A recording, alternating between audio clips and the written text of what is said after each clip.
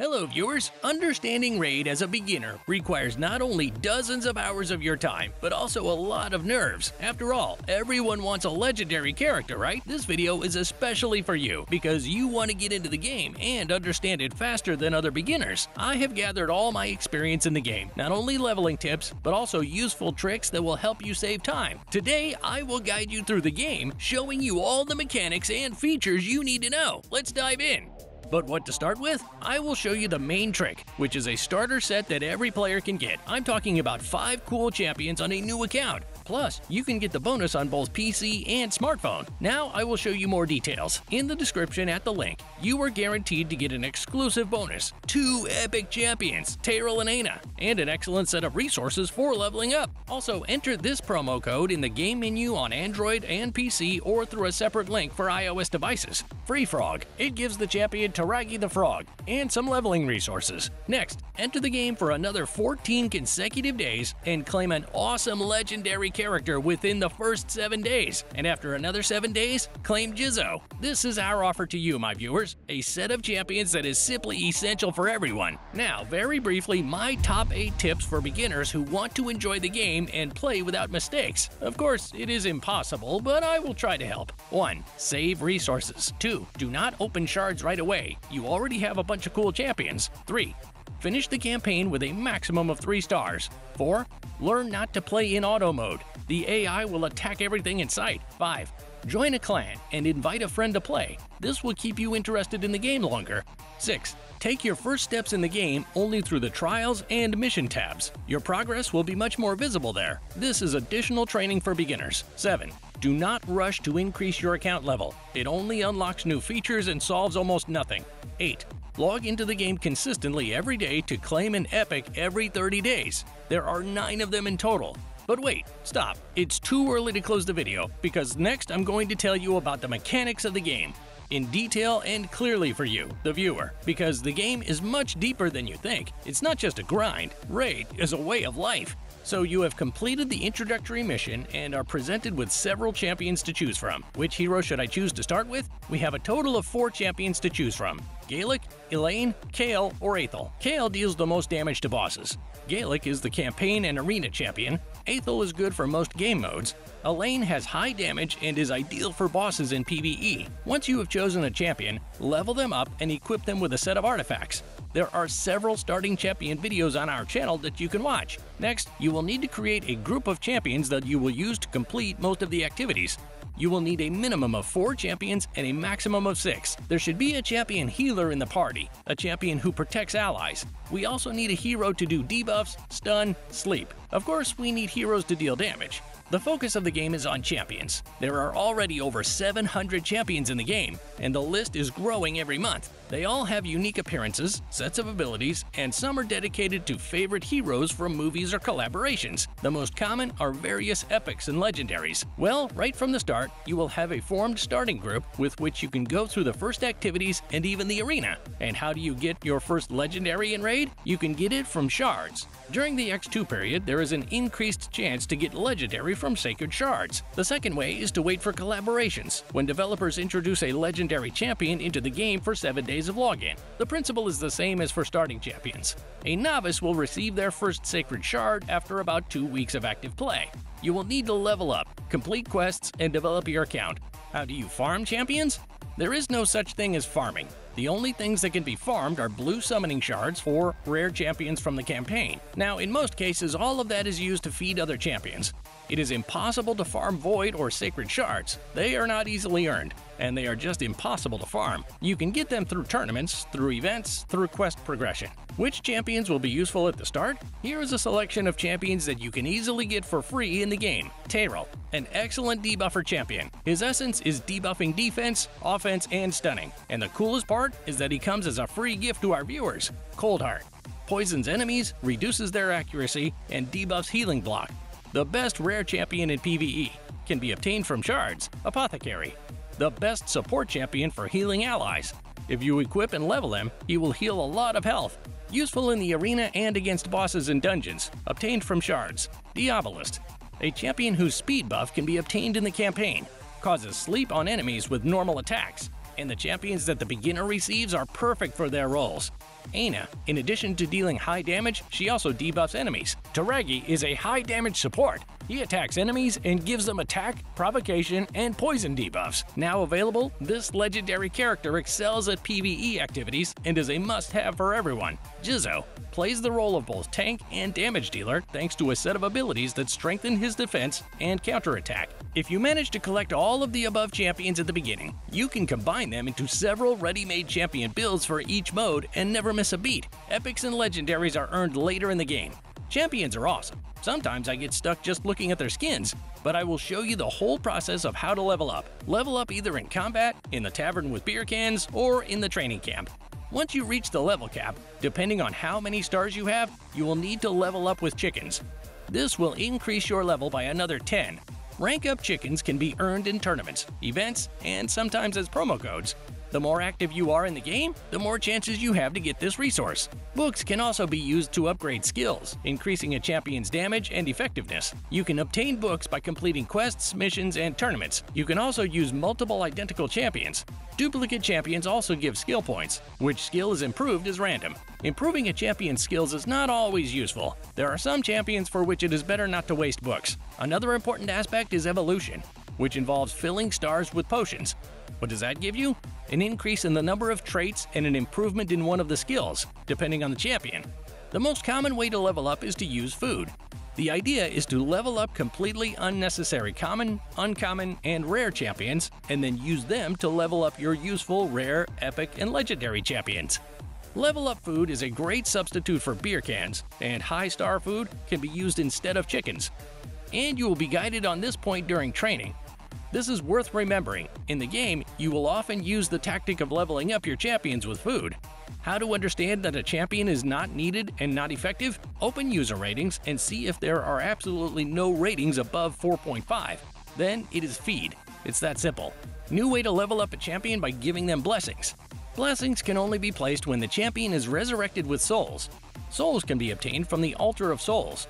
There are different types of boxes here, and by opening the soul stones, you can randomly obtain a soul for the champion you need. You will then awaken one of your heroes and choose a blessing based on the rarity of the champion. The more powerful the soul, the more powerful the bonus. You can increase your level by doing the right things. The first is a premium account, a status that allows you to earn more experience for completing battles. All experience increases, including champion experience and account experience. You can get premium for free by entering promo codes and completing small tasks that give you premium for 24 hours or more. The second most important moment in the game Raid Shadow Legends is the equipment of champions. I will try to cover this topic completely. A lot depends on the equipment. If you equip a champion incorrectly, you will have to remove the items and pay a certain amount of silver. Equipment determines how a champion will behave in battle, how long he will survive, and how much damage he will deal. Heroes are divided into several classes and traits, and depending on that, you need to equip them properly. For offensive champions, you improve the parameter that affects damage. For support champions, speed, tanks, need defense, and health. But these are just the basics. It still depends on the champion itself and how you want to use it.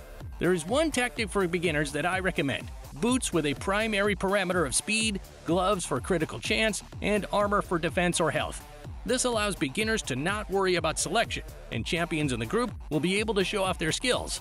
Improving artifacts is a must. Equipping the champion correctly is half the battle. You need to sharpen the equipment. You need silver to sharpen an item. Sharpening can be done safely up to level 4. After the fourth level, the success rate decreases, and so on up to plus 16. The higher the level, the more parameter traits you will receive. And as a late game way to improve equipment, it's runes and evolution. Runes can improve additional parameters of items, and development adds another main parameter or gives a bonus to the main parameter if the random worked out well. The Forge allows you to create new artifacts that cannot be obtained from the campaign or dungeons. Artifacts are created using resources obtained in faction wars. Boosters can also specify the desired parameters for the item or increase the quality of the item created. The better the artifact you want to create, the rarer the resources you will need. What is the best way to farm equipment? To farm items, you need to go to a dungeon. Choose a mode that drops the required set of artifacts. Go to the most difficult boss you can defeat at that stage, and start the automatic battle with the Super Raid function. This way, you will get twice as many rewards, but also spend twice as much energy. Sometimes in the game there are X2 and X3 set drop events in certain dungeons, so keep an eye on the game and farm the right equipment. And if you like our beginner's guide to Raid Shadow Legends, don't forget to subscribe to the channel and like the video. Your few clicks will help my channel become more popular. If you're a beginner and just starting out, remember the most important advice resources in the game. Strictly save. Until you complete all the stages of the quests, any spending of resources will be in vain. Tasks from the Trials and Missions tab will drain your account to the maximum. What is the best way to spend rubies? There is a mine where you can invest your first 1,000 rubies. The mine produces rubies. Every 24 hours, come and collect them. This is a profitable investment that everyone should invest in. And the rubies already mined can be invested in upgrading the talents of one of the champions, or buy a mine, upgrade it to level 3 to get more rubies, even without playing a raid. Shards can be obtained from several sources. They drop randomly as loot in dungeons, can be earned by completing quests daily, and by participating in tournaments and events. Your activity determines the amount of shards you can collect. The main thing is to do it correctly and not to exhaust the resources of your account. These shards should only be used in X2 periods. They come in different types and for different shards. If you have X2 for Ancient Shards, a blue ray, then only open Ancient Shards. You will have an increased chance of obtaining rare champions of a particular class. Let's take a walk around the Bastion and look at all the buildings and why they are needed. The portal is the center of the game. The champions you summon from there will be used in PvP and PvE. Not only can you summon champions from shards in the portal, but you can also merge champions to make them into something cooler. What about merging in Raid? By participating in champion merges, you can earn particles, and if you collect 100 particles of a particular champion, you can create a legendary champion. All merges are more for high-level players who can afford to spend a lot of resources and energy that beginners cannot afford. Next is a mine, which is needed to mine rubies. The mine costs 500 rubies. At the market, you can buy all kinds of items and champions. Here, you can find items of varying quality, from the most common to the legendary. The rarer the item, the more silver it costs. Sometimes you can even find blue shards for 200,000 silver. In the Forge, you can create items with different required parameters and rarity. Why craft items when you can just drop them? The Forge is designed so that you can get items with the necessary stats. I have already talked about the Forge. The Grand Hall is necessary to level up and improve the passive parameters of heroes of different elements. This is done with arena medals, which will be quite difficult to obtain. You can increase damage, health, accuracy, and other parameters for everyone at once. The Guardian Ring is mainly used to passively level up champions. Here, you can also disenchant legendary champions and buy new ones with special tokens. In general, this is its main function. There is also a tavern. The tavern is where all champions are leveled. Here you can level up, increase your rank, improve your skills, and develop your champions, and each type of leveling requires its own resources. In the 23rd year, a new structure, the Altar of Souls, and new functionality appeared. This allows you to awaken a champion with souls to use four categories of blessings. The stronger the soul, the stronger the effect that can be applied to the champion, and the more useful the champion will be in battle. And now it's time to talk about modes, because it is necessary to understand what needs to be farmed in order to level up the heroes. The first and main mode is the story campaign. The campaign has several difficulty levels. It starts with the easiest difficulty. For completing each chapter, you will receive a set of perks for leveling up and progressing through missions. Different sets of artifacts are dropped at each location. The higher the difficulty, the cooler the artifacts you get for completing missions. But you won't get the best gear here. This mode is more about earning rewards in the lower progress bar. Each mission must be completed with 3 stars, which means you must complete it with 2 heroes and no deaths. At first, it will be difficult, especially if you play in auto mode instead of manually, so complete missions with 2 stars without any deaths. You have to complete 7 such missions in each chapter. In the 7th chapter, there is a boss to defeat. There is a progress bar at the bottom of the playlist.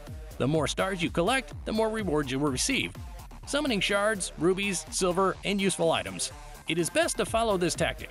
Complete the campaign as best you can, but preferably with 2 stars. Then, once you finish one difficulty, you will have strong heroes with enough power to get 3 stars in most chapters. And if you have free energy, you can use it to complete the campaign with 3 stars. The next mode is Dungeons. I will divide it into two parts. The first is Citadels, with rank increase positions. And the second is Dungeons with bosses, where you can farm items and get other perks. In the Citadels, you will encounter four different guard bosses with their own battle tactics. One is very defensive, the second heals with attacks, the third has high damage, and so on. The essence of these missions is to farm positions so that later you can evolve your hero by coloring stars to increase his passive stats. In dungeons, the combat mechanics are more complex. The bosses are actually whole trials with different mechanics. For example, Skavag. She constantly summons small spiders and can heal herself. The spiders are constantly using poisons, and you have to survive in this chaos. And you also have to choose heroes who can kill the little spiders and remove the poison debuffs. Such a boss requires the right approach in champions. I will show you the main tactic that is best to follow. Burning health works well on the boss, and the boss will always attack the weakest target in terms of element. This means that the boss's attacks are easy to manipulate. To do this, you need a tank with a weak element in the party. The tank should be equipped with lifesteal set and resilience to simply live longer. There should also be a support champion in the party to remove poison debuffs, provide regeneration, and provide a mass defense buff choose champions with the necessary skills. Even on the boss Skavag, champions that deal damage based on the boss's maximum health work well, the easiest of which are the Royal Guard and Coldheart. They are used by everyone from beginners to advanced players. The essence is maximum group survivability and 2 to 3 champions that deal damage based on the boss's health. The tactic is still effective and fun, but requires a high level of power from the champions. The Lava Knight is even harder. He puts a block on himself and absorbs 5 attacks. Then he can put another block on himself. You need heroes that can hit a target multiple times, and you also need someone to remove debuffs. Dungeons drop very interesting rewards that are not available in the campaign. Artifacts of different rarity, decorations, shards, scrolls for talent upgrades, and resources. This is the mode that requires the most farming. To help you, there is a feature called Multi-Battle. You simply start 30 attempts and farm the mode you need to get new artifacts. Every day you get 30 attempts. Use them, and the next day you can repeat. Faction Wars 3 Mode From time to time, various crypts will open that need to be closed. For example, if you enter the Banner Lords or Orc Crypt, you will need a group of characters from that faction to complete the mission. As you progress through the tasks, the enemies will become more difficult. These tasks are there to give you rubies for crafting items. I already talked about crafting. The next mode is Arena. Regular Arena is a 4v4 battle, where victory goes to the more coordinated party that not only deals a lot of damage but also has high efficiency. Before the battle, you can see your opponent's nickname, what rewards you will receive, the composition of the enemy team, and their strength. Choose an opponent weaker than yourself to have a better chance of winning. In arena battles, it is highly recommended that you do not use automatic combat if the skill level is close to yours. In order to play without auto battle, you must know your team's abilities and when to use skills to quickly destroy the enemy team. Every victory increases your rating.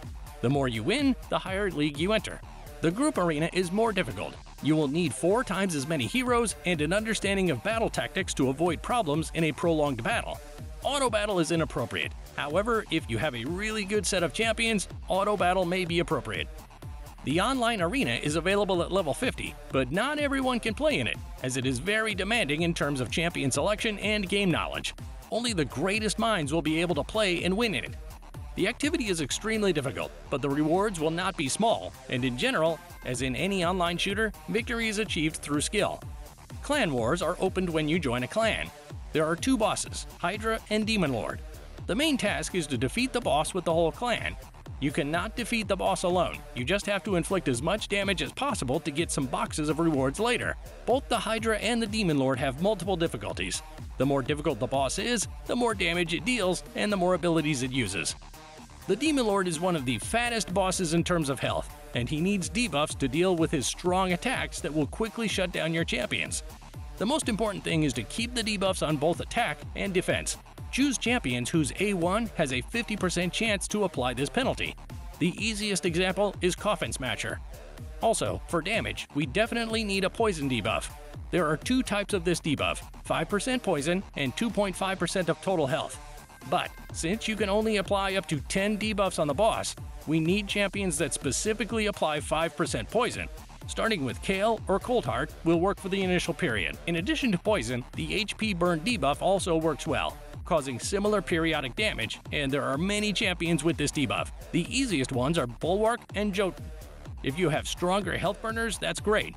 It is desirable to have ally shield buffs, mass defense buffs, speed, those are the basics. It is also desirable to have a speed aura to move more often. Players usually play either for speed, which is extremely important to have the right gear, or for unkill packs. which give you a damage blocking buff and a team shield. A little pause on how to collect a pack of champions on Hydra. In general, my recommendations will be based on winning strategy, not specific heroes. You have your champions, I have mine. Let's not focus on the names of the champions, but what buffs and debuffs they should have to defeat this boss. What debuffs are essential on Hydra? Buff block, HP burn, mass attack debuff, mass defense debuff, speed debuff, and leech. With this set of debuffs, you will weaken the Hydra's heads to the maximum and heal from attacks on any of its heads. And what buffs are needed? They are crucial to victory. So, buffs for defense and attack, buff increase, veil and shield, acceleration, regeneration, counterattack, resurrection, and debuff block are also useful. About champions. What specific characteristics do we need in a champion? We need a champion with mass resurrection, a champion that accelerates allies, and champions with a number of buffs and debuffs that I mentioned above. And don't forget to start with what you have on your account. Now that we know the basics of victory, let me gather a group of champions to defeat the Hydra. We need an Arbiter to resurrect allies, a Stag Knight to provide attack, defense, speed debuffs. Let's also take a Royal Guard. He has a defense debuff and a speed penalty. A Geomancer will also be useful. He gives weakness, health burn, and accuracy penalties. We also need a champion to heal. Rector Drath will be perfect, as she also gives an attack penalty and the Veil buff. And we also need a champion like Underpriest Brogni. He gives bonuses to attack defense block, imposes HP burn on the enemy. The late game mode Cursed City currently consists of dozens of different missions, each with its own conditions for victory a specific set of factions, two bosses in one battle, and various difficulties to make your life in this city as difficult as possible. And in the end, you will face a boss, the final boss, which will test your nerves and make you feel pain in your ass. But the reward? The legendary mythical champion, or just OP. Fortunately, this mode unlocks at level 52, which is considered mid-game. By then, you will have plenty of champions to use in this mode. There is also a chat in the game, you are not playing with bots, but with real players. In the chat, you can ask for advice from more experienced players and just chat. The chat also acts as a timeline. It shows what champions other players are getting from shards, what artifacts they are upgrading, and so on. So how do you go from noob to pro? With all the information you have seen in this guide, you will be able to master the basics of the mechanics and understand how you want to develop in the game. In addition, the starter set of 4 epics we offer will make it easier for you to become a pro by saving you shards and giving you a good boost for many early activities. Boss tactics all work.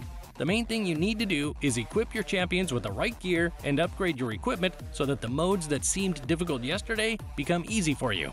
If anything is unclear, write comments. I will try to answer you with a text response, or if there are many requests, I will make a video.